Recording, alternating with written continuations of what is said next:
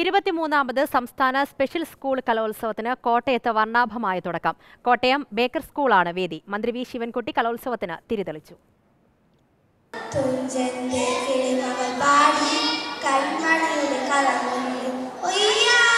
Higher secondary വരെയുള്ള ആയിരത്തി അറുന്നൂറ് ഭിന്നശേഷി വിദ്യാർത്ഥികളാണ് സംസ്ഥാന സ്പെഷ്യൽ സ്കൂൾ കലോത്സവത്തിൽ മാറ്റുരയ്ക്കുന്നത്.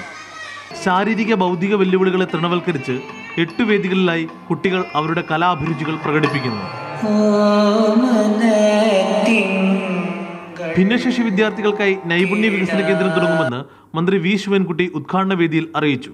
കുട്ടികളുടെ നൈപുണ്യ വികസനത്തിനായി സ്കിൽ ഡെവലപ്മെന്റ് സെന്ററുകൾക്ക് രൂപം നൽകുവാൻ ഒരു നൈപുണ്യ വികസന കേന്ദ്രം ഭിന്നശേഷി കുട്ടികൾക്കായി മന്ത്രി V N Vasavan Thiruvanchoor Radhakrishnan M L A എന്നിവർ ഉദ്ഘാടന ചടങ്ങിൽ പങ്കെടുത്തു.